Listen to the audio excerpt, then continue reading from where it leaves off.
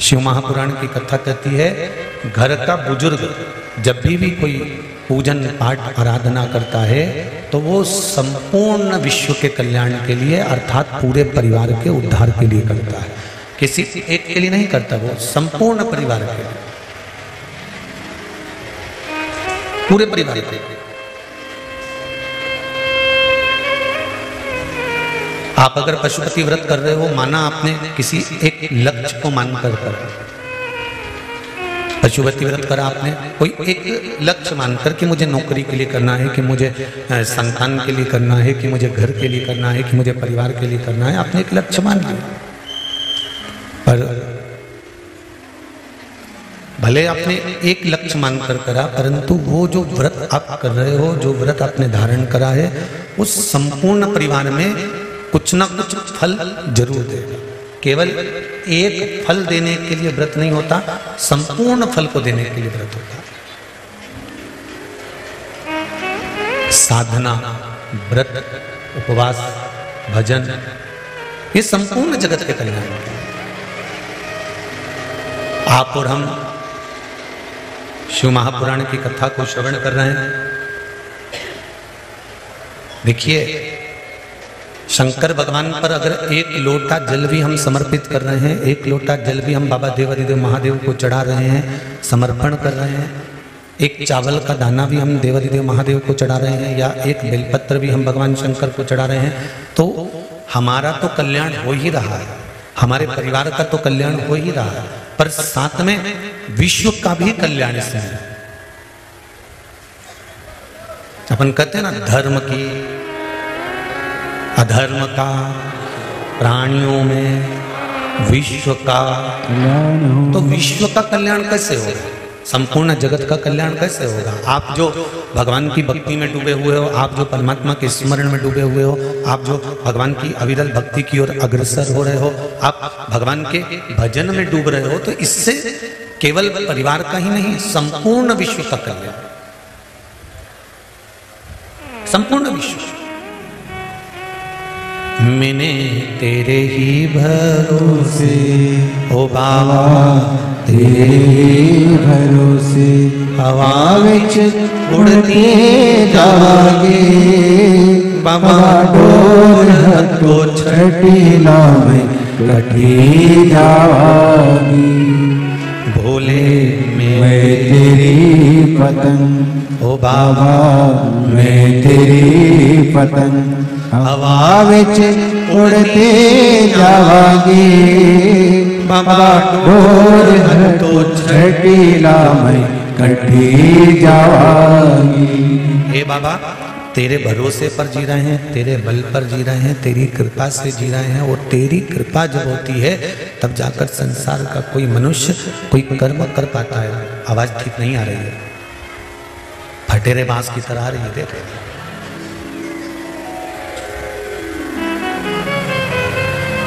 सत्कर्म की ओर जब बढ़े।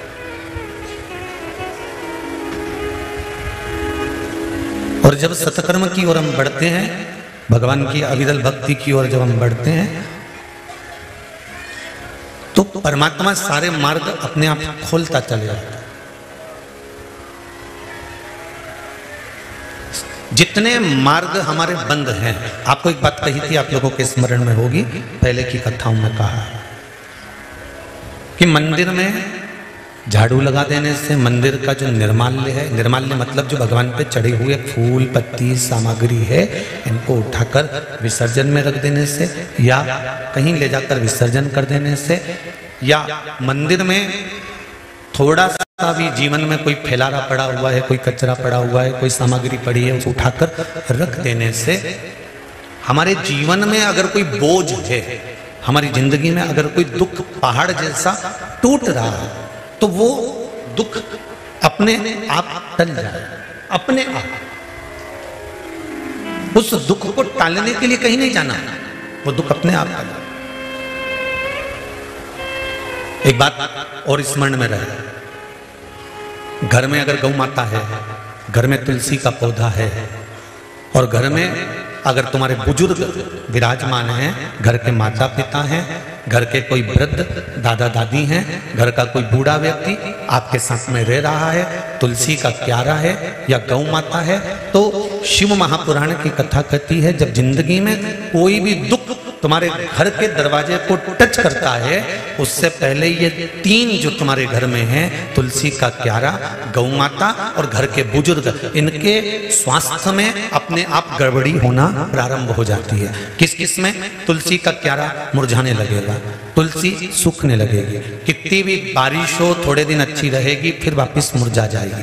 चार महीना सावन भादो कुमार कार्तिक तो अच्छी रहेगी, फिर वापस वो मुरझा जाएगी। मतलब ज़रूर घर में कुछ ना कुछ दुख आने वाला। गौ माता बार बार बीमार पड़ रही है, गाय तुम्हारे घर में है, वो चारा नहीं खा रही है, पानी नहीं पी रही है, उसको कोई तकलीफ़ हो रही है। समझ लेना कि घर में कोई दुख आया होगा, उसने अपने ऊपर ले लिया होगा। घर के बुज़ुर्ग, घर के माता पिता घर के बयो, घर के वृद्ध ये जो घर में जो बड़े होते हैं ना, ये दिन भर बैठकर टीवी के सामने भले शिव पुराण सुनते हो, भजन करते हो, कीर्तन करते हो, मंत्रमाला करते हो तो घर के बच्चों का, घर के बेटा बेटी का, घर के परिवार के व्यक्ति का सारा दुख ये अपने माथे पर ले ले। जब घर का बुज़ुर्ग, गौ माता और तुलसी का पौधा ये अपने मस्तक पर सारा दुख ले लेते हैं तो हमारे घर का, इस पृथ्वी का बयो वृद्ध बड़ा है कौन? क्योंकि जितने भी देव हैं, वो केवल देव हैं। देवताओं का भी घर का अगर कोई बड़ा है तो वो महा देव है। तो हमारे जीवन में अगर दुख आता है तो अगर सिर पर झेलता है तो मेरा महादेव हमारे जीवन के दुख को अगर झेल रहा है तो वो देवादित्य महादेव झेले कल भी कथा में कहा था, मृत्यु निश्चित है, आए। कब, कहा, कैसे, काल सामने आकर खड़ा हो जाए, इसका कोई समय निश्चित नहीं है। पर मिश्रा जी ने लिखा कि बाबा की भक्ति किसको कहते हैं? शिव स्मरण में हमारा पूरा परिवार गाड़ी में बैठे बैठे बाबा को ही याद कर रहा था। बाबा का ही भजन कर रहा था।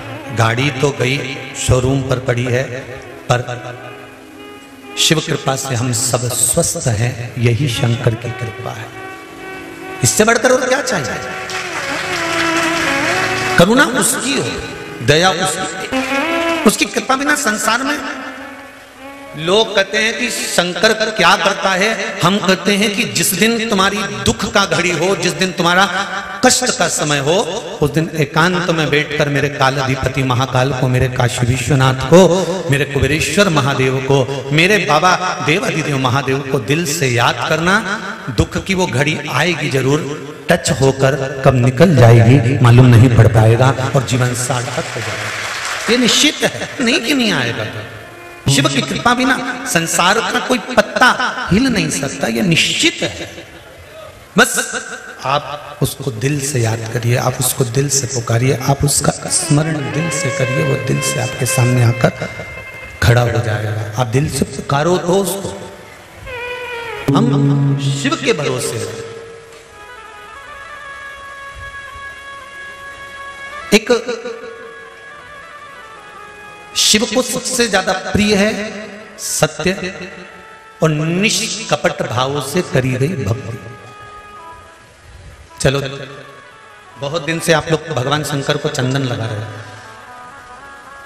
कितने लोग हैं जो रोज भगवान के मंदिर में जाकर या हफ़्ते में दो बार जाकर या चार बार जाकर चंदन लगाते हैं? लगाते हो ना भगवान शिव को चंदन?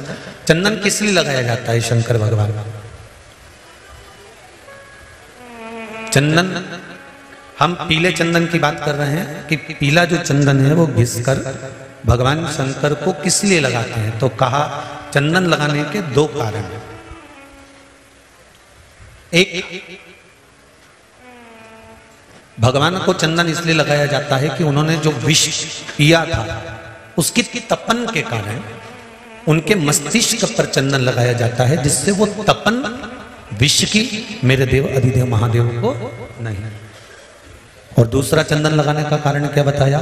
तो कहा, दूसरा चंदन लगाने का कारण बताया कि हमने, अगर कोई पूजन में, भगवान की पाठ करने में, पूजन करने में, भजन करने में, स्मरण करने में, कीर्तन में, हमने भगवान के मंत्र जाप में, अगर कहीं कुछ कुछ थोड़ा बहुत भी दिखावा कर दिया हो, या छल कर दिया हो, या कोई कपट कर दिया हो तो हम उस दोष से मुक्त हो जाए इसलिए हम शंकर भगवान को निष्कपट भाव का चंदन लगाते निष्कपट भाव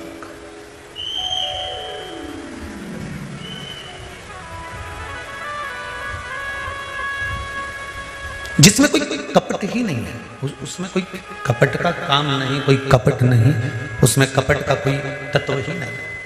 इसलिए शायद शिव महापुराण की कथा में बारंबार कहा जाता है, शंकर भगवान के पावन प्रसंगों में बार बार कहा जाता है, राम कथा के अंतर्गत बारंबार अपन श्रवण करते हैं कि भगवान को पाने के लिए निर्मल मन सो मोही आवा, मोही छल छिद्र कपट ना भावा भगवान की कथा कहती है कि मुझे निष्कपट भाव आपके पास में कुछ है कि नहीं है? यदि शंकर भगवान की कथा कहती है, आपके पास में कोई वस्तु है तो आप भगवान को समर्पित करो, नहीं है तो छोड़ो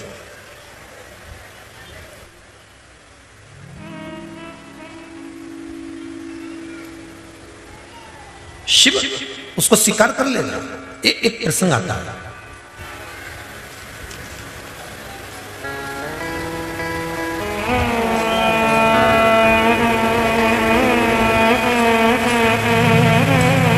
प्रसंग में आता है। बांधवगढ़ के राजा। महाराजा वीर सिंह।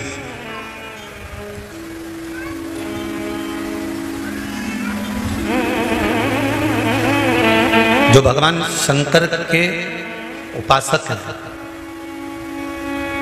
और उनकी धर्म पत्नी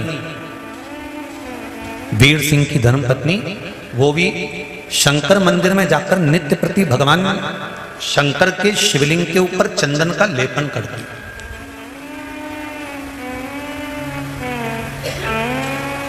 बांधवगढ़ के राजा वीर सिंह की पत्नी और वीर सिंह दोनों शिव के उपासक हैं। दोनों।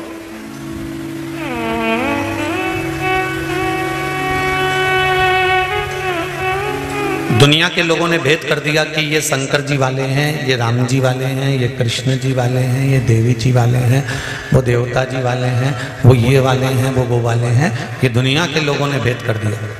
पर भगवान के दरवाजे पर कोई भेद है क्या? और अच्छे से समझ लीजिए, गुलाब जामुन खाओगे तो भी पेट में जाएगी। इमरती खाओगे नहीं वो कान में चली जाएगी। अरे बोलो तो हम क्या? तो फिर इतना सोचने की क्या ज़रूरत है? तुम्हें तुरंत बोलना चाहिए, पेट में जाएगी। पर एक घंटे तक सोच रही, महाराज ने क्या बोलेगा इमारती के सोचना खाई, वो भी पेट में गई। गुलाब जामुन खाई, वो भी पेट में गई। रोटी खाई, वो भी पेट में गई। उसी तरह राम कहो, चाहे श्याम कहो, चाहे शंकर कहो, चाहे दत्त कहो, चाहे देवी कहो, चाहे देवता कहो, जाना तो उसी के पास है। अच्छा ऐसा डिपार्टमेंट भी नहीं है कि राम कहोगे तो राम के लिए ये इधर का डिपार्टमेंट जाना है, कृष्ण के लिए इधर का डिपार्टमेंट जाना है। जैसे इमरती खाई जाना पेट में ही, गुलाब जामुन खाई जाना पेट में ही डिपार्टमेंट ही है वो जाना वही दुनिया के लोगों ने छल कर दुनिया के लोगों ने थोड़ा सा छल करा। जैसे वर्ण में दुनिया को बांटा है, वैसे कि वैसे दुनिया के लोगों ने धर्म को भी बांटने का प्रयास करा। भगवान को भी बांटने का प्रयास करा। पर भगवान कहते हैं कि मैं बटा नहीं हूँ, मैं तो वही हूँ, आज भी हूँ और कल भी रहूँगा। राजा, वीर सिंह की धर्मपत्नी और राजा वीर सिंह दोनों शंकर भगवान के उपासक हैं। शिव की भक्ति का स्मरण करते हैं, शंकर का गुणगान करते हैं। शंकर की भक्ति में डूबे रहते हैं, शिव भक्ति में डूबे रहते हैं। राजा था धर्मात्मा। पुण्यात्मा था।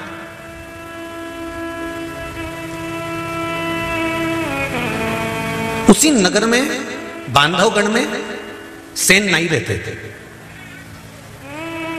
जो सेना नाई, वहाँ निवास करते थे, खवास थे, नाई थे, और वो भगवान की भक्ति में, राम और कृष्ण की भक्ति में, दामोदर की भक्ति में, भगवान की भक्ति में डूबे रहते थे। आप देखिए जरा प्रसंग की ओर जरा स्मरण करिएगा। सेन नाई भगवान की भक्ति में डूबता है, राम और कृष्ण की भक्ति में डूबते हैं, वीर सिंह शंकर की भक्ति में डूबे रहते हैं, अपना राजपाट चलाते रहते हैं, संपूर्ण राजपाट का सुख भोगते रहते हैं। सेन नाई प्रतिदिन आता है, राजा के नक काट के जाता है, केश बना कर जाता है, दाढ़ी बना कर जाता है, शरीर की मालिश कर कर जाता है। आज राजा वीर सिंह की धर्म पत्नी गई थी शंकर जी के मंदिर में। और सेन नाई थे घर पर। घर के सामने से निकल रही थी भजन की टोली। भगवान का भजन करने वालों की टोली। आपके घर के सामने से कावड़ वालों की टोली निकलती है, आपके घर के सामने से भजन वालों की टोली निकलती है। ढोलक मंजीरे की आवाज़, ढोल की आवाज़ जब कानों में जाती है तो तुम्हारा भी मन थोड़ा बहुत तो उमंग में भरता होगा कि कितने अच्छे लोग हैं, क्या कावड़ लेकर आए हैं, कितने आनंद में नाच रहे हैं, कितनी मस्ती में नाच रहे हैं। मेरा कुबेर भंडारी मेरी भी झोली भर देगा तो एक बार ढोल लेके मैं भी पहुँच जाऊँगी। ये मन में तो उमंग उत्पन्न होता ही है ना। कहीं ना कहीं देवादिदेव महादेव से हम भी तो प्रार्थना करते हैं कि, कि बाबा मेरे पर भी तो कृपा करेगा। बारम्बार ऐसी कृपा करना मुझ पर ऐसी दया करना मुझ पर कि मैं आ जा और तेरी कृपा से तेरी दया से आऊँ। बाबा देवादिदेव महादेव से विनती करो। मेरे भोले दया करना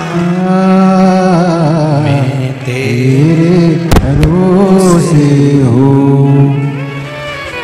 मैं तेरे भरोसे वीर सिंह की धर्म पत्नी भगवान शंकर की आराधना कर रही है। वीर सिंह भी शिव की आराधना में लगा रहने वाला है और सेन नाई सत्संग में डूबने वाला, संकीर्तन में डूबने वाला, सेन नाई भगवान की अविरल भक्ति में डूबने वाला।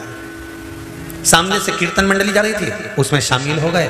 प्रतिदिन समय पर राजा की मालिश करने जाते थे, राजा के केश काटने जाते थे और बाल बनाने के लिए नखून काटने जाते थे। आज सत्संग मंडली में डूब गए, नहीं जा पाए। पत्नी को यह अंदाज़ा था कि मेरे पति को क्रोध बहुत आता वीर सिंह को क्रोध बहुत आता था। जिसका पति क्रोध बहुत करता है ना पत्नी पहले से उसके लिए सब सामान तैयार करके रख देती है। नाने जाएँगे, ये टाविल रखा है। आएँगे, ये कपड़े रखे हैं। घड़ी, ये टेबल पे रखी है। सामान, ये यहाँ पर रखा हुआ है। भोजन करने बैठेगा तो पत्नी सारी व्यवस्था कर देगी। ये सामान यहाँ रखा है। वीर सिंह की धर्म पत्नी शंकर जी के मंदिर पर जब गई, चंदन बाबा को मल रही थी। सेन नाई का भजन इतना प्रबल था कि वो सत्संग में लग गए और संकीर्तन में लग गए और भगवान के भजन में ऐसे डूब गए कि आज राजा की ना तो मालिश करने गए, ना बाल काटने गए। अब शंकर भगवान, तुरंत भगवान कृष्ण के पास आकर बोले कि हमारा भक्त तो लगा हमारी सेवा में, तुम्हारा भक्त लगा तुम्हारी सेवा में। अब एक काम करो, या तो मैं खवास बनू, या तुम खवास बनो। अब दोनों में से कोई एक खवास बन जाए। कोई एक नाई बन जाए। भगवान कृष्ण ने कहा, शंभु, हे मेरे बाबा, हे ओगरदानी हे भोलेनाथ, हे तरकालदर्शी, हे कैलाशी, हे अविनाशी, हे करुणा करने वाले, हे मेरे दातार,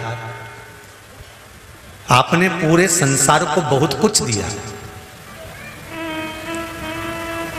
और मैंने कई बार आपसे प्रार्थना करी कि जैसे भगवान विष्णु रूप ले लेते हैं, चौबीस अवतार भगवान विष्णु ने धारण करे हैं तो भगवान कृष्ण कहते हैं, ऐसे ही कुछ अवतार आप भी धारण करो। पर भगवान शंकर कहते हैं कि भगवान विष्णु रूप बनाकर पृथ्वी पर प्रकट हो सकते हैं, जन्म ले सकते हैं। शंकर भगवान कह रहे हैं, मैं तो पहले से ही पृथ्वी पर विराजमान हूँ तो मैं रूप कैसे रख सकता हूँ? मैं कैसे रूप रखू?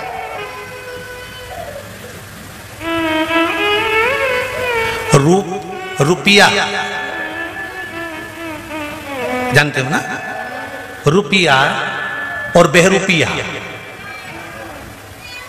इन दोनों में एक अंतर भारी है। क्या क्या?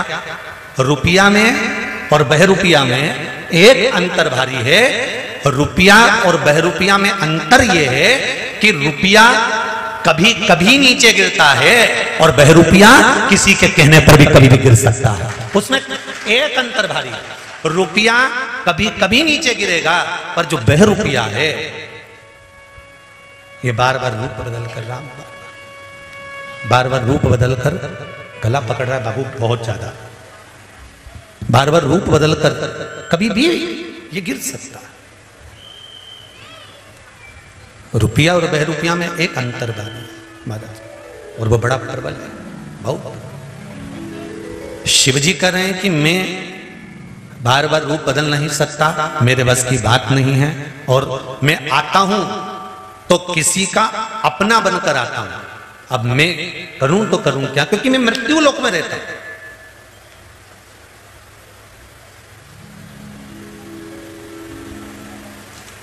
पृथ्वी पर रहने वाला व्यक्ति कितने रूप बदलेगा?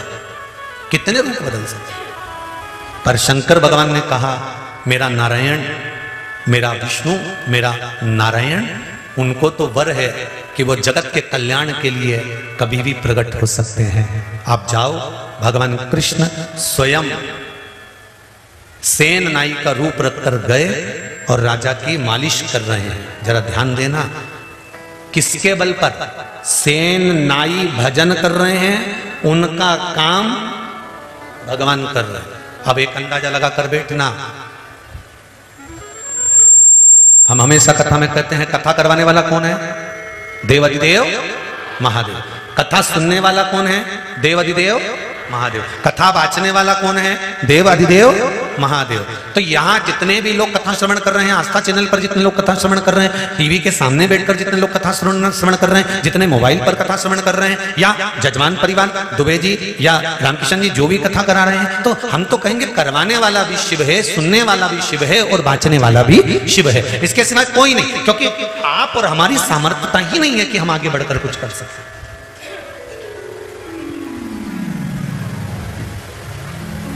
सेन नाई कीर्तन में डूबे हुए हैं और उनकी जगह पर भगवान विष्णु, भगवान नारायण, राजा वीर सिंह के शरीर की मालिश कर रहे हैं। अब वीर सिंह की मालिश हो गई तो उन्होंने विचार करा, आज तो सेना नाई ने गजब काम करा, इसका हाथ में क्या हो गया भगवान जाने?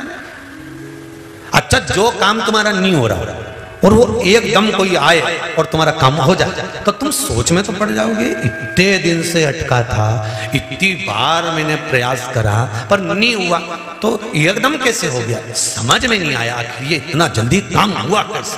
कैसे तो वो काम किसी दूसरे ने नहीं करा, वो काम करने वाला अगर वीर सिंह की मालिश करने के लिए मेरा नारायण आ सकता है तो विश्वास पक्का रखना, तुम्हारे दुख को हरने के लिए भी मेरा विश्वनाथ आ सकता है।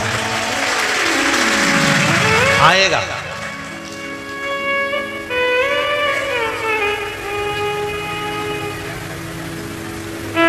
सेना नहीं लगे थे, सैन नहीं लगे हुए थे भजन में, और भगवान पहुँच गए वीर सिंह की। आज इनके हाथ में सब क्या हो गया? पूरे नगर में बात फैल गई। और सेन नाई को याद आया, अरे भगवान, राजा की मालिश करना थी, मैं तो भूल गया, उसने पेटी उठाई, चल दी जैसे ही पहुँचे दरवाजे पर तो द्वारपालों ने कह दिया, वाह वाह, आज तो तुम्हें मुद्रा मिलेगी, आज तो तुम्हें खूब निछावर मिलेगी। ओहो, लग गया सेना नाई को आज फांसी की सजा मिलेगी, क्योंकि मैं तो आया ही नहीं था। जो राजा के सामने पहुँचे, राजा ने अपने गले की कंठी उतार कर दे दी सेनाई गजब का तुम्हारा हाथ आज क्या मालिश करी तुमने? पूरी थकान एक हाथ रखा और मिट गई। समझ में नहीं आया। अब सेन नाई मन में सोचे कि मैं तो यहाँ था ही नहीं। मालिश कौन ने करी? राजा के गले की माला सेन नाई ने उतार कर राजा को वापस दे दी और दौड़ कर गया। जिस माला को सेन नाई भजता था, उस माला को उठाया और उस कीर्तन मंडली में जाकर बैठकर भगवान नारायण के सामने जाकर सेन नाई कहते हैं, मेरे कारण तुमको राजा की मालिश करने जाना पड़ा। तुम ही गए थे ना?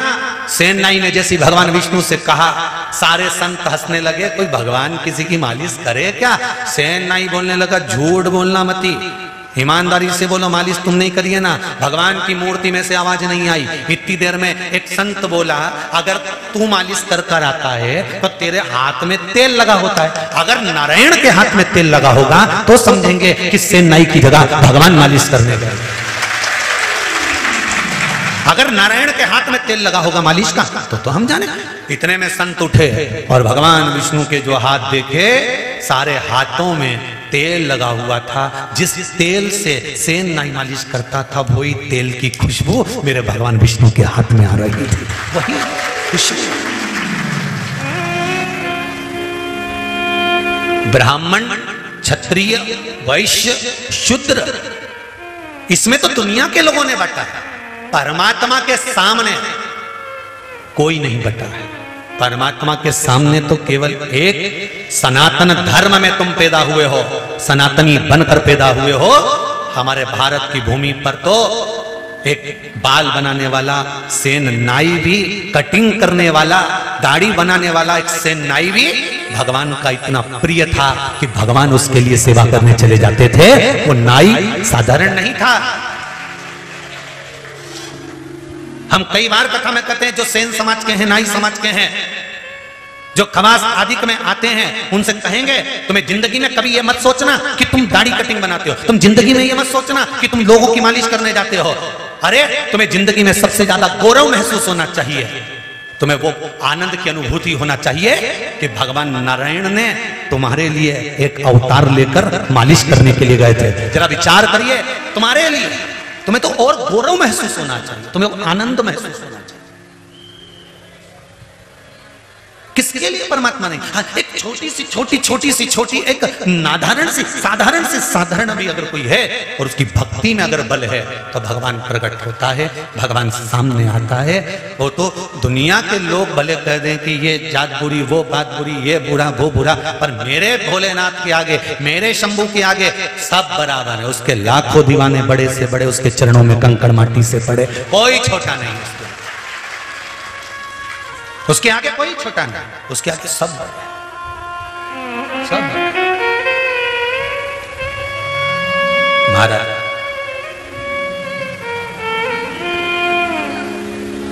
बहुत लोग कई जाति वालों की हँसी उड़ा देते हैं। कई लोग सेन नाई पर नाई पर कमेंट्स करना चालू कर देते हैं। कोई अन्य समाज पर कमेंट्स करना चालू कर देता है। पर शिव महापुराण की कथा कहती है, ये सब शंकर के हैं।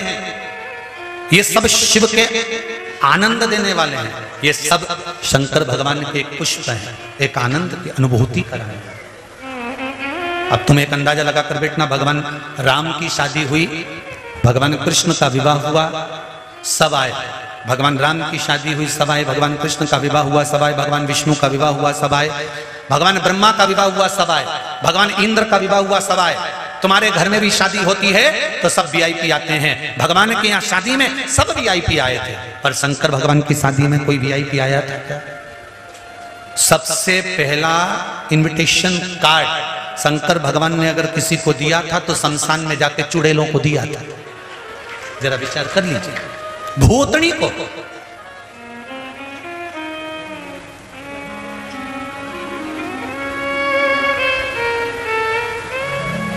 गणों को, भूत, प्रेत, डाकनी, साचनी, जितने सबको ले जाकर भगवान ने इन्विटेशन दी सबको तो कहे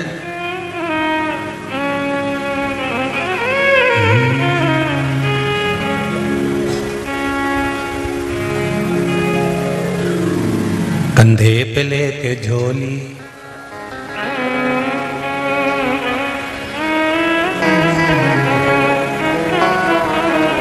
एक भूत दिल से बोला,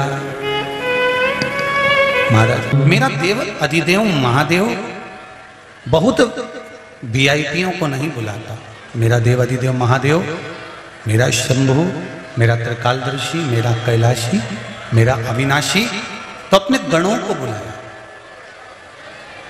भगवान की निगाह में कभी नहीं होता कि ये बड़ा है कि ये छोटा है।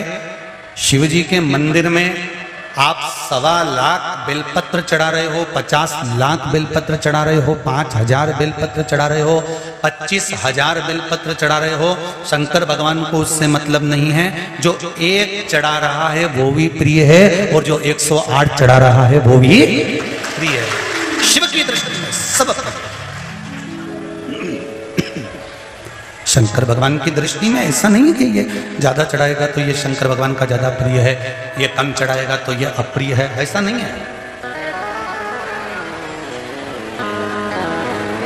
उसके चरणों में जाकर बस केवल निवेदन कर देने पर भी सुख का अनुभव हो जाता है, आनंद का अनुभव हो जाता है और जीवन के कई दुख, तकलीफ़ अपने आप मिट जाते हैं।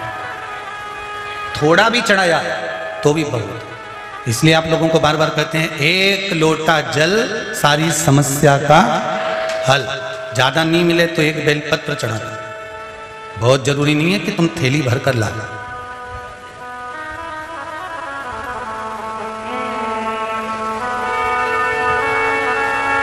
अचार, तुम्हारे यहाँ मेहमान आता है तो अचार एक कटोरी भर के देते हो कि एक चम्मच से देते हो? बोलो, जम के बोलो।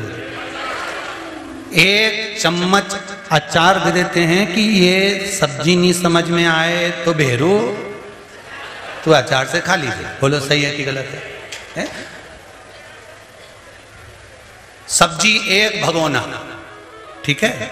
बगार कितना लगाओगे? एक भगोना। बगार कितना एक किलो इसमें तेल डाल दो। इतनी सी जीरा, इतनी सी राई, थोड़ा सा नून, थोड़ी सी मिर्ची। बगार इतने बड़े भगोने में बगार इतना सा। और पूरी दाल में स्वाद आ गया वो इतने से बगार से। इतना भगोना भर के दूध, दही बनाने में जामन, इतना सा। इतना सा जामन डाला, एक भगोना दूध, दही बन गया। इतना सा बगार लगाया, इतनी दाल में स्वाद आ गया। इतनी बड़ी थाली में छप्पन भोग और इतना सा अचार धर दिया, स्वाद आ गया। उसी तरह भगवान ये नहीं कहते कि भगोना भर के बेलपत्र लाना, भगवान तो कहते एक बेलपत्र लेकर आना, उसको मैं स्वाददार बना मात्र एक बेलपत्र से भी स्वाद प्रबल हो सकता है, एक चावल के दाने से भी शंकर प्रसन्न हो सकते हैं, केवल उसको रिझाने वाला चाहिए।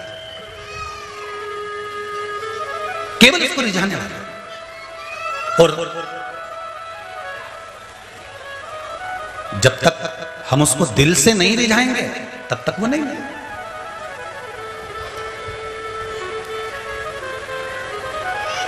पर सोना कितना भी कीमती हो जाए, उसमें सुगंध आएगी क्या?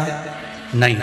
वो भले पचास हज़ार रुपये तोला हो जाए, चाहे चालीस हज़ार रुपये तोला हो जाए, चाहे हज़ार रुपये जितना लाखों में हो जाए, उसकी कीमत ज़रूर है, पर उसमें सुगंध नहीं है। फूल की कीमत नहीं होती, पर उसमें सुगंध होती है। उसी तरह तुम डॉक्टर बन जाओ पढ़ लिख कर इंजीनियर बन जाओ, कलेक्टर बन जाओ, एसपी बन जाओ, तुम्हारी मर्ज़ी पड़े, बड़े से बड़े पद पर सीए, कलेक्टर, एसपी, डीएसपी, जिस पद पर बैठना है, तुम्हें उस पद पर बैठ जाओ। तुम पढ़ाई कर कर कीमती तो बन सकते हो, सोने जैसे कीमत वाले भी हो सकते हो, पर जब तक तुम्हें अपने परिवार के संस्कार नहीं होंगे, तब तक तुम्हारी कीमत किसी काम नहीं संस्कार की सुगंध होना चाहिए। फूल में सुगंध होती है, भले उसकी कीमत नहीं हो, पर वो कीमत वाला बन जाता है, मात्र सुगंध से। सोने में कीमत होती है, पर सुगंध नहीं होती। आभूषण सोने के भी बने, आभूषण फूल के भी बने, पर इसमें सुगंध है, इसलिए यह भगवान को प्रिय है और आनंद है। इसीलिए कहते हैं कि खूब पढ़ो, लिखो खूब मेहनत करो, कर्म करते जाओ। कल भी कथा में कहा था, सब कर्म करो। कर्म करने में पीछे मत हटना, कर्म करने में पीछे ना। खूब मेहनत करो और मेहनत के साथ में देव अधिदेव महादेव से विनती करते चले जाओ कि बाबा, मैं तेरे भरोसे पर तेरे साथ। तेरे भरोसे के बिना कुछ नहीं। जिस बेटी का गुणगान करा था आपको, कि एक बेटी वेंटिलेटर पर रहकर शिव महापुराण की कथा सुनकर मस्तिष्क में चेतना आई थी। आज वो बेटी कुबेरेश्वर धाम को धोख लगाने आई है। मैं निवेदन करूँगा वो बेटी धीरे से धीरे से, आराम से। वो बेटी आज कुबेरेश्वर धाम पहुँची है। जोरदार तली बजाओ। जो वेंटिलेटर पर थी, शंकर की कथा सुनकर दिमाग की चेतना आई। शिव कृपा ही ऐसी होती जीवन का मैं तेरे भरोसे हूँ। मेरे बाबा दया करना। तेरे भरोसे हूँ। मात्र उसका स्मरण कर लेना। जरा विचार करो कि वेंटिलेटर पर पड़ा हुआ व्यक्ति और हेडफोन लगा देना और उसकी श्रवण शक्ति में जो कोमा में पड़ा है और उसकी चित्तवृत्ति में भगवान वापिस चेतना दे देना।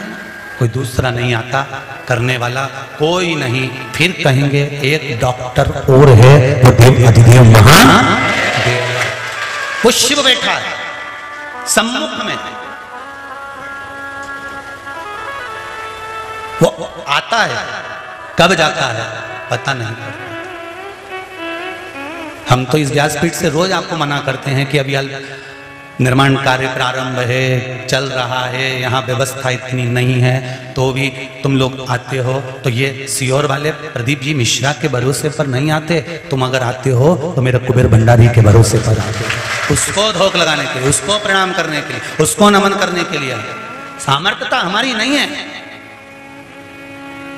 दिल से उसका भजन करो। स्मरण, बस मेरे बाबा को दिखावा प्रिय नहीं। है आपने पूरे कुबरेश्वर धाम में घूमकर देखना, कहीं दिखावा नहीं मिलेगा तुमको। जैसा यहाँ से बोलते हैं, वैसा की वैसे आपको माँ मिलेगा। खिचड़ी प्रसाद मिलेगा, दर्शन नहीं है मूर्ति, कंकर शंकर है, जो है सामने।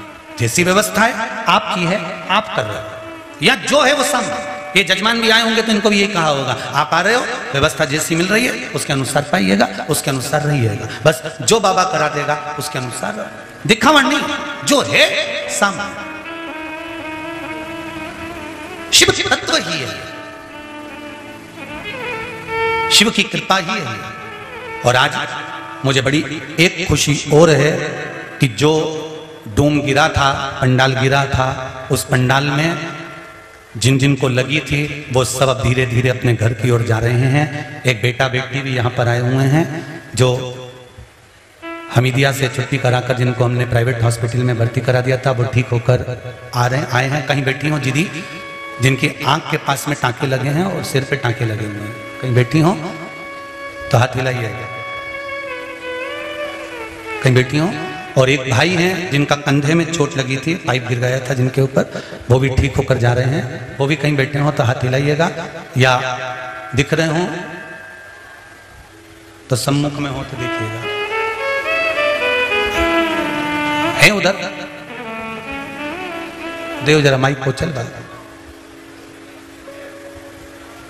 थोड़ा दिख नहीं रही है क्या? थोड़ा आगे आ जाओ बाबू। थोड़ा आगे आओ। मेरे बाबा दया करना। बाकी सब लोग बैठे रहो कोई खड़ा ना हो। माइक को जाओ उसके पास। माइक जाओ बेटी के पास में।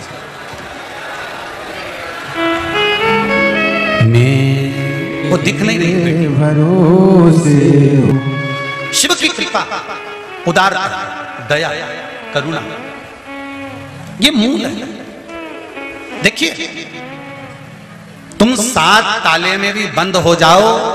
काल अगर आएगा तो सात ताले के अंदर भी आए।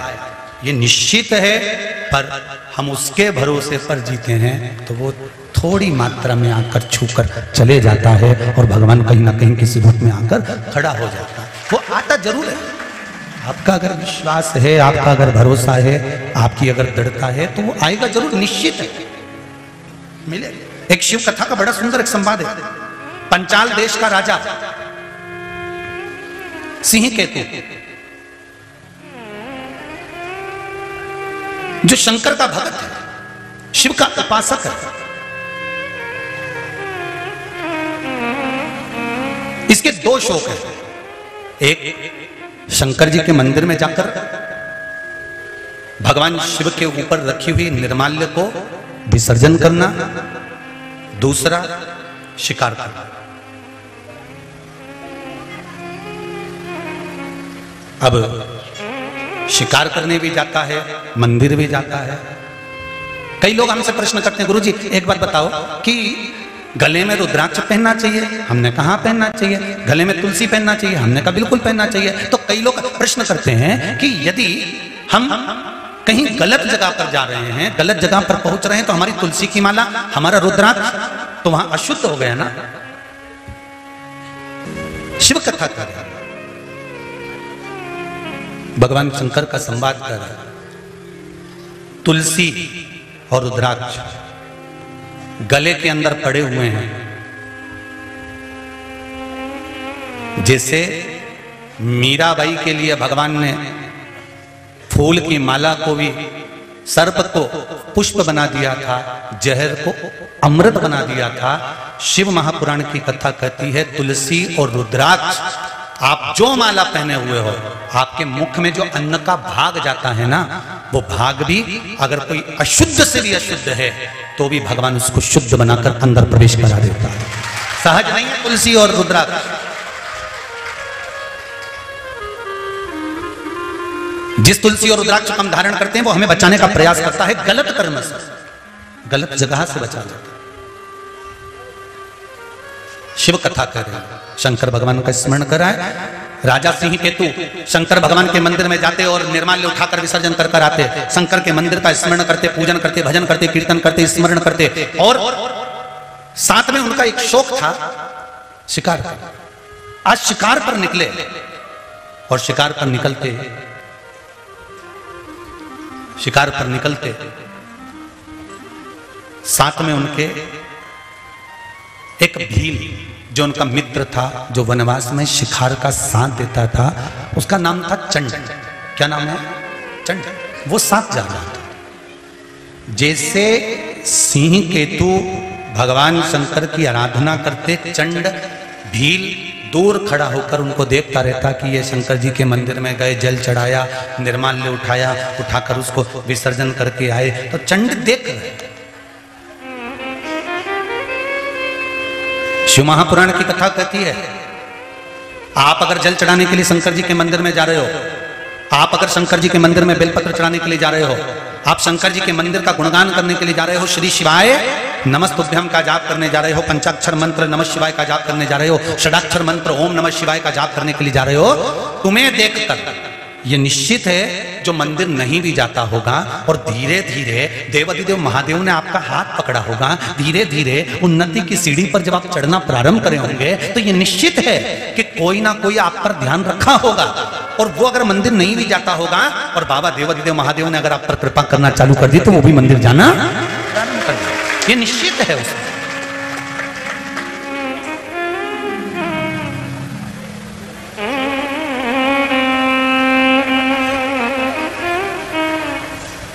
फिर एक बात कहेंगे। आप किसी से मत कहो कि तुम पड़ोसन से तो बिल्कुल मत कहना कि तुम मंदिर चल।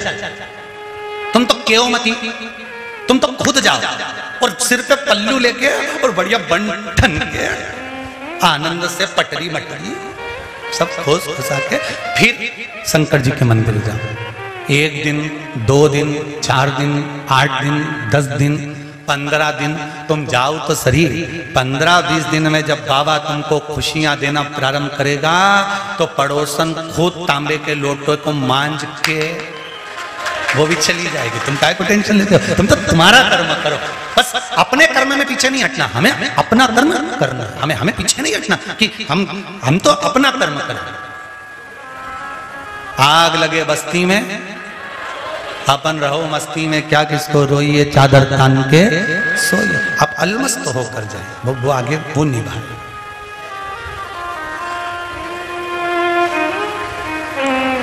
महाराज चले सिंह केतु ने पूरे शिकार के समय पर चंड भील उसको देख रहा। सिंह केतु आगे निकल गए। चंड भील, एक टूटा फूटा सा एक मंदिर था, जिसके शिखर का भी ठिकाना नहीं था, दीवालों का ठिकाना नहीं था, चारों तरफ़ से टूटा फूटा था और खूब सारी उस पर बेल लग रही थी। खूब सारी बेल।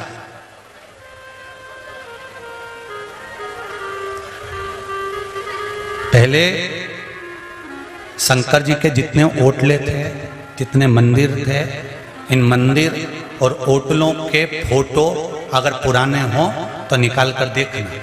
और आज शिव पुराण सुनने के बाद उन मंदिरों और होटलों के फ़ोटो देखना तो आपको खुशी महसूस होगी कि लोग मंदिर के दरवाजे पर खड़े हैं। पहले जिन मंदिरों में लोग नहीं जाते थे, आप अकेले उस मंदिर में जाते थे। उस मंदिर में कोई नहीं आता था। आप अकेले जाते थे। आज उसी मंदिर में आपको भी लाइन लगाना पड़ती है जल चढ़ाने की। ये ये शिव भक्ति है, ये शंकर की कृपा। इसलिए कहते हैं, कलयुग नहीं। जम के बोलो, कौन सा युग?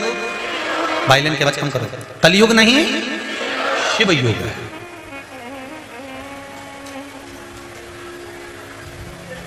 ये साधारण सा युग नहीं आया। अभी तो कलयुग भी विचार में होगा, मैं कहा जाऊँगा? करना क्या? है कलयुग को भी टेंशन है। कि सतयुग आया त्रेता आया द्वापर आया, राज्य तो हमारा आया था। किसका? अरे जम के तो बोलो, कलयुग का। पर कलयुग को क्या मालूम था कि बीच में सप्लीमेंट्री आ गया? और ये शिवयुग बीच में आ गया। और केवल शिवयुग ऐसे ही नहीं आ गया। नीचे से लेकर ऊपर तक बड़े बड़े सिंहासन पर बैठे हुए राजा भी आज शंकर का गुणगान कर रहे हैं। शिव मंदिर में जाकर शंकर का स्मरण कर रहे हैं, शंकर की पूजन कर रहे हैं। साधारण नहीं है।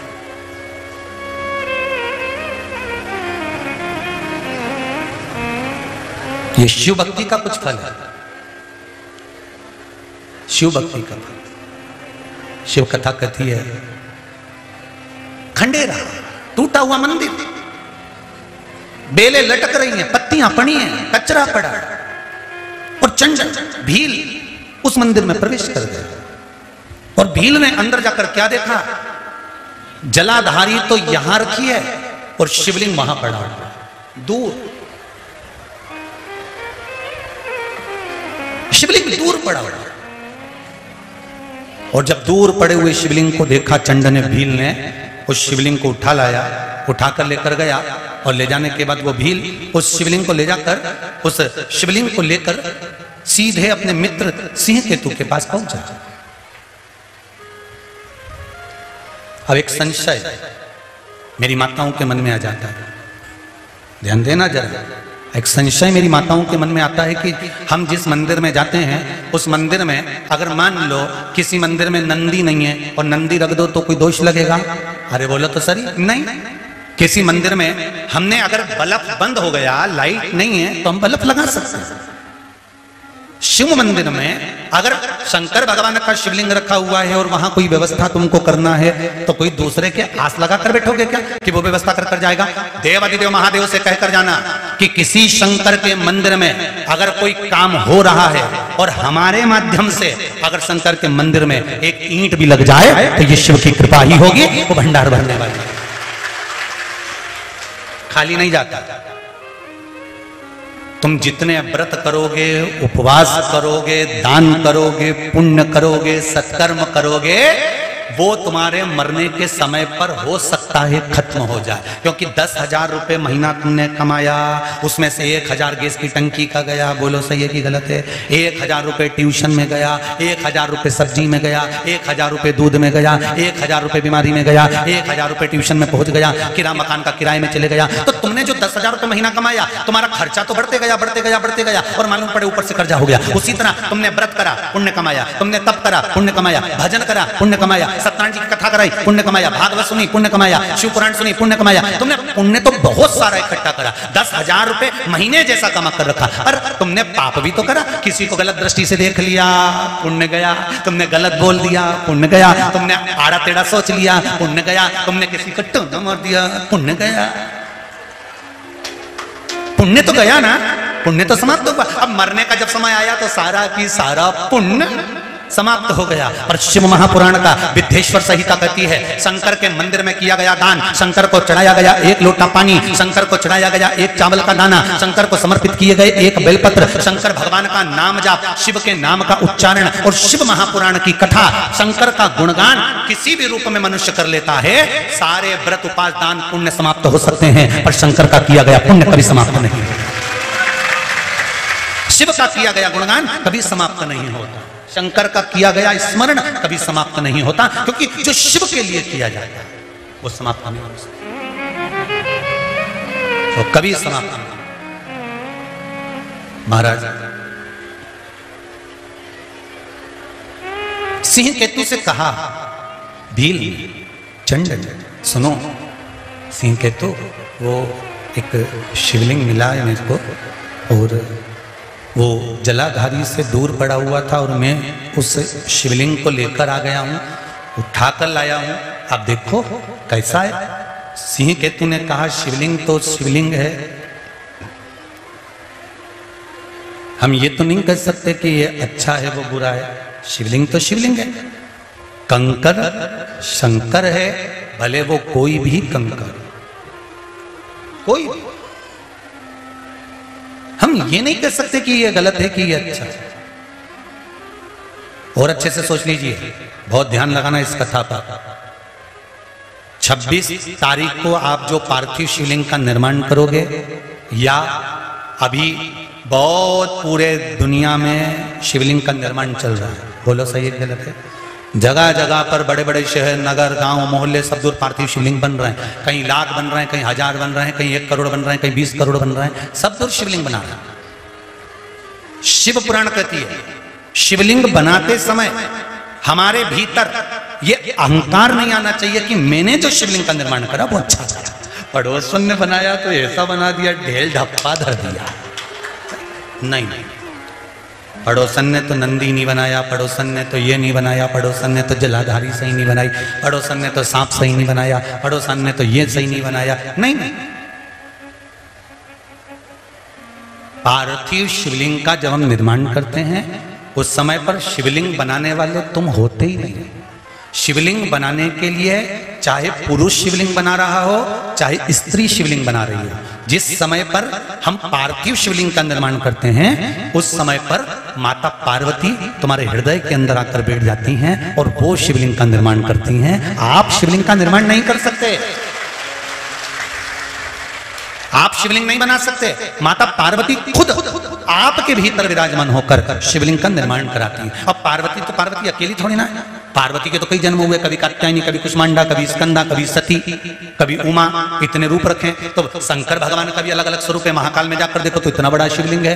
काशी में जाकर देखो तो इतना बड़ा शिवलिंग है। और सब दूर घूम के त्रम्बकेश्वर चले जाओ तो ढूंढते रह जाओ। बोलो, सही है कि गलत? है तो शिवलिंग तो शिवलिंग। कोई ने छोटा बनाया, कोई ने बड़ा बनाया, कोई ने मोटा बनाया, कोई ने पतला बनाया, कोई ने भारी बनाया। तो ये हम नहीं बनाते। ये बनाने वाला तो मेरा देवाधिदेव महादेव पार्वती के माध्यम से, जो शिवलिंग का निर्माण करवाता है, वो मूल अब उसमें हमको ये अहंकार नहीं आना चाहिए कि मैंने जो शिवलिंग बनाया वो श्रेष्ठ है, मैंने जो बनाया वो अच्छा है। नहीं नहीं नहीं। उसने जो शिवलिंग बनाया या हमने जो शिवलिंग बनाया या हम जिस मंदिर में पूजन करने जा रहे हैं, कोई मंदिर नया और पुराना नहीं है। हम जहाँ शंकर का गुणगान करेंगे, शंकर वहाँ पर हाजिर है। हर कंकर में शंकर समाया उसमें ढूँढने की ज़रूरत नहीं कि अच्छा कि वो महाराज। हम उसको ढूंढ रहे हैं। शिव पुराण कर कहा ये शिवलिंग मुझको मिला है, मैं इसको उठा कर ले आया हूँ। इस शिवलिंग का मुझे क्या करना चाहिए, आप बताओ। तो सिंह केतु ने पूछा कि तुम क्या चाहते हो, वो बताओ। तो कहा, मैं शिवलिंग की पूजन करना चाहता हूँ। पूजन? हाँ करो। मैं अपने घर ले जाऊँ इस शिवलिंग को? हाँ ले जाओ। कैसे पूजन करना है? एक लोटा जल चढ़ा देना, चंदन लगा के बेलपत्र चढ़ा देना फूल चढ़ा देना। हो हो। बस। भोग लगाना। बाबा की। जम के बोलो जरा। आरती उतार देना।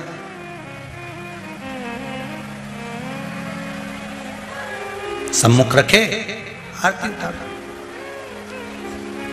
केवल।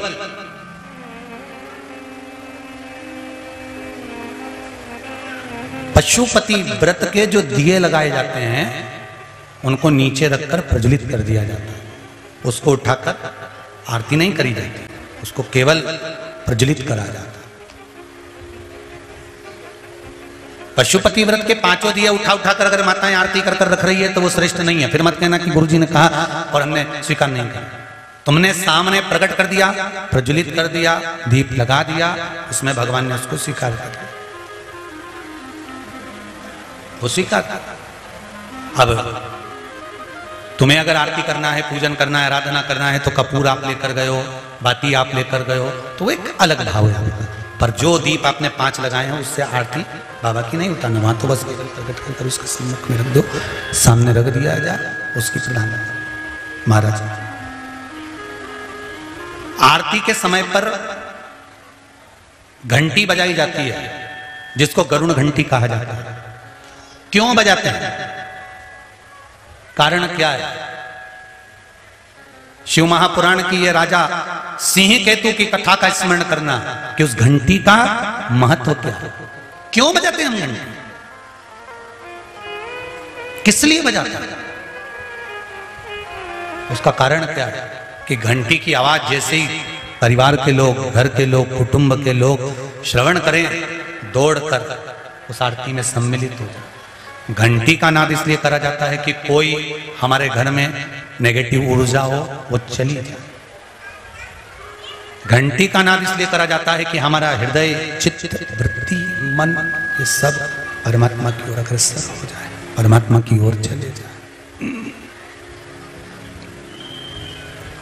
उनकी अविरल भक्ति की ओर अग्रसर हो जाए।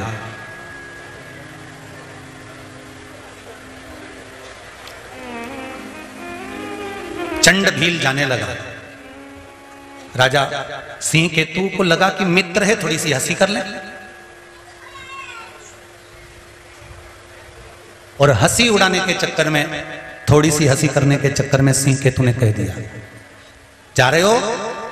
ऐसी पूजन कर लेना। और सुनो, शंकर भगवान को प्रतिदिन ताज़ा चिता की भस्म लगती है। चढ़ा। कैसी भस्म? ताजे चिता की भस्म लगती है शंकर भगवान को चढ़ाना। उसने कहा, ठीक है। और वो भक्ति में डूब गया। समय आया। पंद्रह दिन, बीस दिन वो घर में पूजन करता रहा। उसकी पत्नी भिलनी, जो पूजन करना नहीं जानती थी, आराधना करना नहीं जानती थी, भजन करना नहीं जानती थी, कीर्तन करना नहीं जानती थी, मंत्र जाप करना नहीं जानती थी, स्मरण करना नहीं जानती थी, नाम जाप करना नहीं जानती थी, शंकर भगवान को पहचानती तक नहीं थी। उसकी पत्नी धीरे धीरे धीरे धीरे कर सीख गई धीरे धीरे कर कर सीखी। पति और पत्नी दोनों मिलकर शंकर भगवान की आराधना कर रहे हैं। पति भी कर रहा है, पत्नी भी कर रही है। दोनों आराधना कर बाबा, सब दुख काटो ओ बाबा, सब दुख काटो शिव शंकर जपो, तेरी माला। भोले बाबा जपो तेरी माला भोला सब दुख काटो। मारा ओ सब दुख काटो मारा। महाराज भीलनी भी भगवान शंकर की आराधना में लग गए। भील भी भगवान शिव की आराधना में लग गए। एक दिन भिलनी ने पूरी पूजन की थाली तैयार करके रख दी। पूरी पूजन की तैयारी भिलनी ने तैयार कर दी पति आया, चंड ने आकर देखा, इसमें भस्म तो है ही नहीं। पत्नी बोली, आज चिता की भस्म नहीं मिली। मैं गई थी संस्थान भस्म नहीं मिली। भस्म नहीं मिली? मैं जाता लेकर आता और देखो, वो चंड भील गया, भस्म लेने के लिए जैसे ही शमशान में पहुँचा, गया, जैसे ही पहुँचा जाकर देखा तो वहाँ भस्म नहीं थी। भस्म नहीं है। अब इसको ये नहीं मालूम कि भस्म नहीं है तो अपन को एक काम करना चाहिए कि भगवान के भरोसे पर छोड़ देना चाहिए कि जो कुछ भी तूने दिया है मेरे शंभु, जो तूने मुझे प्रदान करा है मेरे बाबा, वो मैंने यहाँ समर्पित करा है। अगर कोई वस्तु नहीं है तो हमें देवदीदेव महादेव को चावल का जब दाना चढ़ाए तो चावल के दाने को चढ़ाते समय कर देना चाहिए? पत्रम पुष्पम समर्पित हमारे पास में नहीं है, जो आपने दिया, हमने वो समर्पित कर दिया। अब भस्म नहीं, पति गया देखने के लिए, लौट कर आया। वापिस जब लौट कर आया, आकर देखा उसने तो क्या देखता है कि चिता की भस्म तो नहीं मिली तो आँख में आँसू भरकर, आँख में जल भरकर घर पर बैठकर भगवान के सामने शिवलिंग के सम्मुख में रो रहा था। पत्नी ने पूछा, हुआ क्या? ये तो बताओ। आज भस्म नहीं मिली। भस्म नहीं मिली तो मत मिलने दो, क्या दिक्कत है? हम एक काम करते हैं, कुछ और चढ़ा देते नहीं नहीं, मेरा नियम टूट जाएगा। भस्म तो मैं चढ़ाऊँगा। तो भस्म कहाँ से आई? पत्नी ने समझाया, पति को पति बोला, मैं मर जाता हूँ। अगर तुम चले जाओगे तो भस्म कौन चढ़ाएगा फिर शिव को? इतने में धर्म पत्नी ने कहा, एक काम करते हैं अपन अपन एक काम करते हैं। क्या? एक काम करें? ये मकान, ये घर पुराना हो गया है। इस घर में मैं आग लगाती हूँ और इस घर के अंदर मैं प्रवेश कर जाती हूँ। मैं जब जलकर भस्म हो जाऊँ तो मेरी भस्म तुम शिव जी पे चढ़ा देना। और भिलनी, मकान की तीन परिक्रमा कर कर घर में आग लगाकर उस घर में प्रवेश करने को तैयार हो गई। पर पति कहता है कि ऐसा मत करो। क्यों ऐसा कर रही हो? भस्म का अपन इंतज़ार करते हैं। कहीं ना कहीं भस्म तो प्राप्त कहीं ना कहीं भस्म तो प्राप्त हो ही जाए। कहीं ना कहीं भस्म तो मिल ही जाए। अपन इंतज़ार करते हैं। रुको अभी। कहीं ना कहीं से भस्म ज़रूर आएगी पत्नी ने इंतज़ार करा, पति ने इंतज़ार करा, पर भस्म नहीं आई। भस्म प्राप्त नहीं हुई। पत्नी ने फिर पति को समझाया, भिल्ली ने मकान में आग लगाई, प्रवेश कर गई। भस्म तैयार हुई।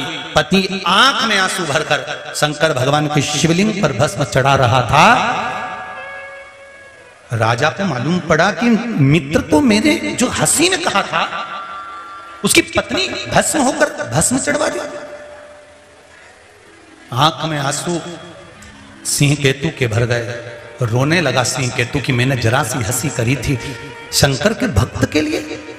जरा सी हँसी।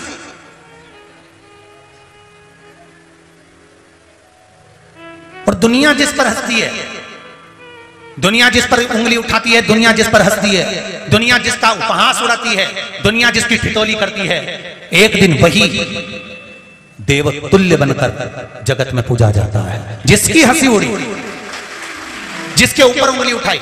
हनुमान जी महाराज लंका में गए, लंका में जाते से हनुमान जी महाराज को जब बंधन में बाँध लिया और बंधन में बांधने के बाद हनुमान जी की जो हँसी उड़ना चालू करी, अरे ये बंदर ये बंदर, ये बानर, कर कर कर, लोग ताली बजाएँ, हंसे, डोंडी बजाएँ, नगाड़े बजाएँ, बंदर बंदर, कर कर, हनुमान जी को पुकारने लगे, हनुमान जी को छेड़ने लगे, कोई हनुमान जी को यहाँ से पकड़े, कोई वहाँ से पकड़े, हनुमान जी की हँसी उड़ने लगी, और फिर लंका में जब हनुमान जी ने अपना जो स्वरूप वृद्धि करी, जो रूप बनाया, जो विशाल रूप का दर्शन कराया तो सारे लंकापुर वासी हाथ जोड़ के थाली ले लेके आ गए। ये तो कहीं का देवता है। ये कहीं का देवता है। उड़ाए, दुनिया के लोग हँसी उड़ाए। अब शब्द कहने वाले कहते रहे, ताने देने वाले देते रहे आड़ा टेढ़ा करने वाले कहते रहे। ये दुनिया की रीत कहने वाला कहता रहेगा। अब सिंह केतु ने हँसी उड़ाई। पत्नी उसकी मर गई, प्राण छूट गए, भस्म चढ़वाई।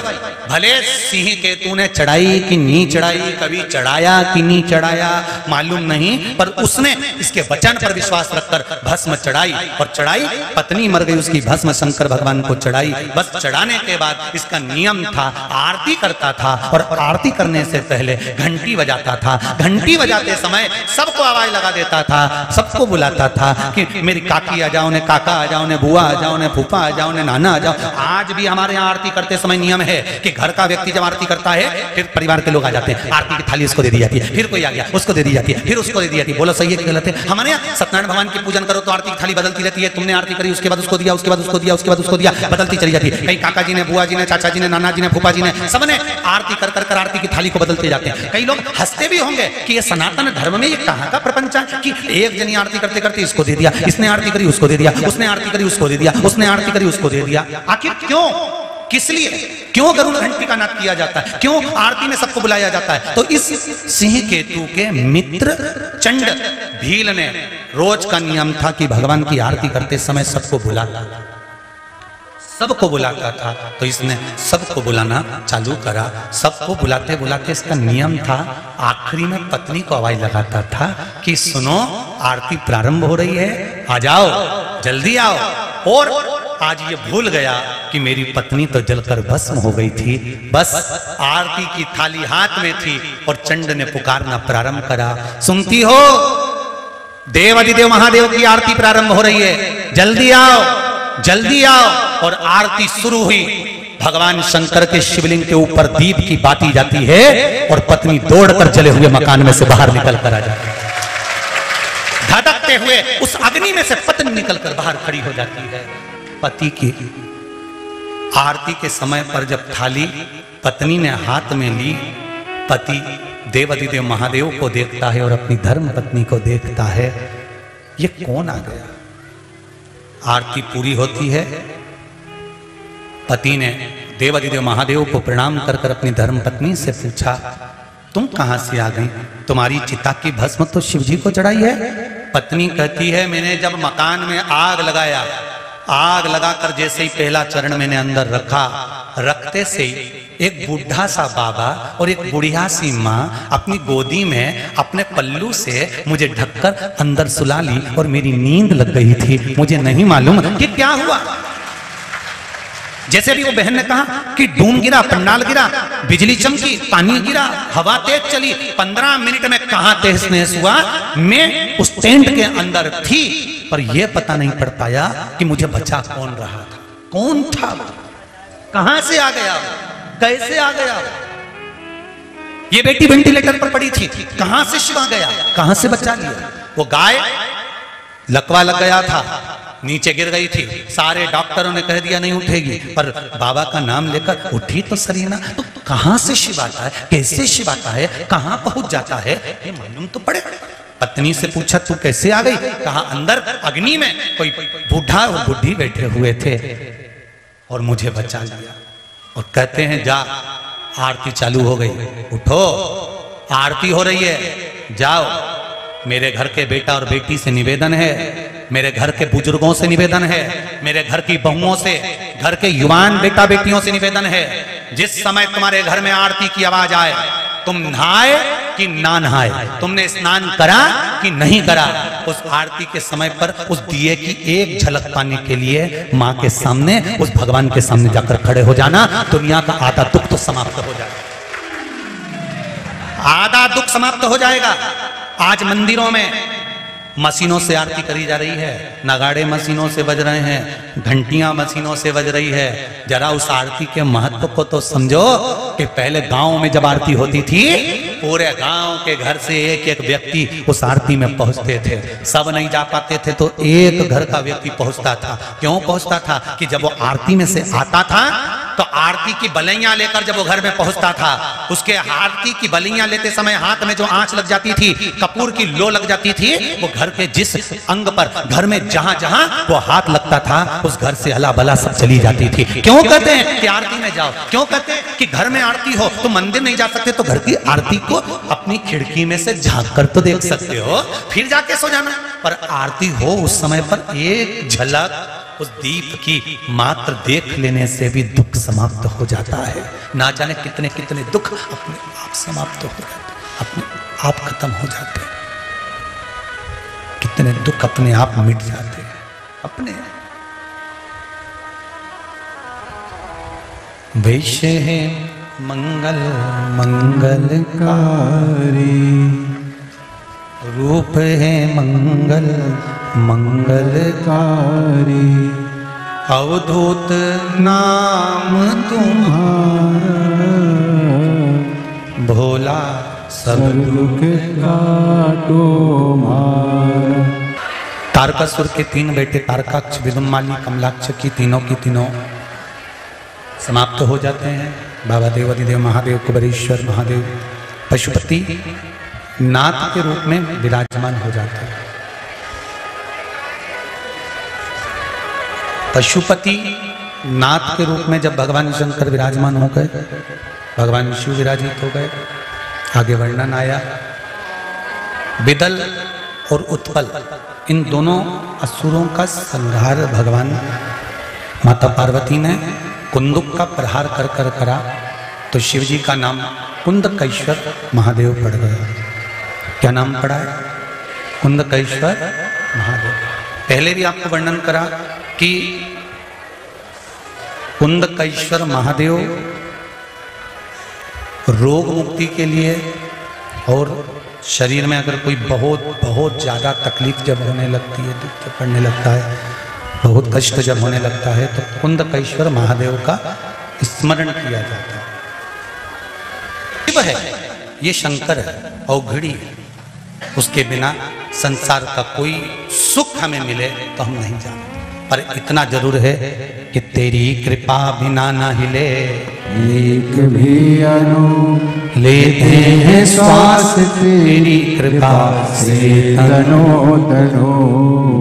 माता पार्वती जी ने जो कुंदुक का प्रहार करा वो कुंदुक विथल और उत्पल को मारने के बाद वो कुंदुक शंकर भगवान के चरणों में जाकर गिरा जिसका कुंद कैश्वर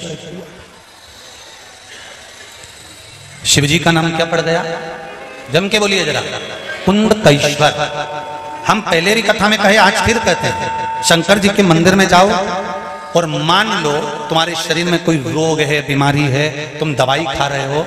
दवाई खाओ, मना नहीं है। डॉक्टर को दिखाओ, मना नहीं है। सारी जांचें कराओ, मना नहीं है। पर कर्म करते करते करते करते थोड़ा सा विश्वास शंकर पर भी रखो। हम ज़्यादा नहीं कर, हम तो कर, थोड़ा सा भी रख लोगे। थोड़ा सा अचार थाली में स्वाद ला देता है, थोड़ा सा बगार दाल में स्वाद ला देता है, थोड़ा सा जामन दही जमा देता है तो थोड़ा सा तुम्हारा विश्वास ये निश्चित है कि जो बीमारी है उसको समाप्त कर कर मानेगा। ये निश्चित आप थोड़ा सा विश्वास रखो ज़्यादा भी नहीं रख सकते तो थोड़ा तो रख सकते। जाओ उसके दरवाजे पर, उसकी चौखट पर, उससे विनती करो, उससे निवेदन करो, उसके चरणों में जाकर विनय करो, सुनेगा थोड़ा सा विश्वास कई लोग कहते हैं, गुरुजी तो सीधा बोलते हैं कि शंकर पर पूर्ण भरोसा बहुत ज़रूरी है। और फिर कहेंगे, वो विश्वास, वो भरोसा डामाडोल होने वाला मत रखना। कि थोड़े दिन तो तुम शंकर जी के मंदिर गए, थोड़े दिन तक तुमने आराधना करी, थोड़े दिन तक तो तुमने भक्ति धारण करी, थोड़े दिन तक तो तुमने कीर्तन करा और थोड़े दिन बाद वापिस वैसे की वैसे ही गए।